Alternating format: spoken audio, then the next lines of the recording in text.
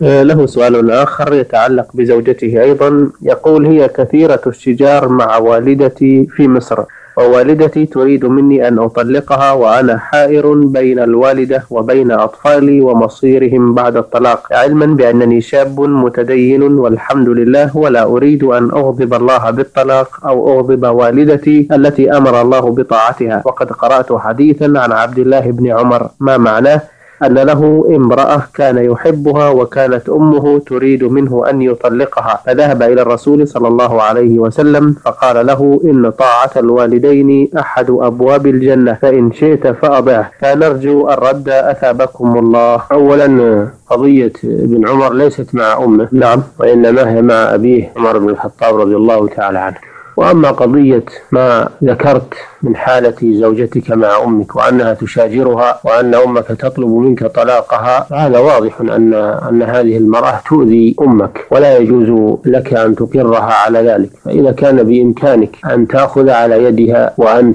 وأن تمنعها من هذه المشاجرة وبإمكانك الإصلاح بين أمك وزوجتك فإنه يتعين عليك ذلك ولا تذهب إلى الطلاق. أو إذا كان بإمكانك أن تجعل زوجتك في مسكن وأمك في مسكن آخر وتستطيع القيام بذلك فهذا أيضا حل آخر.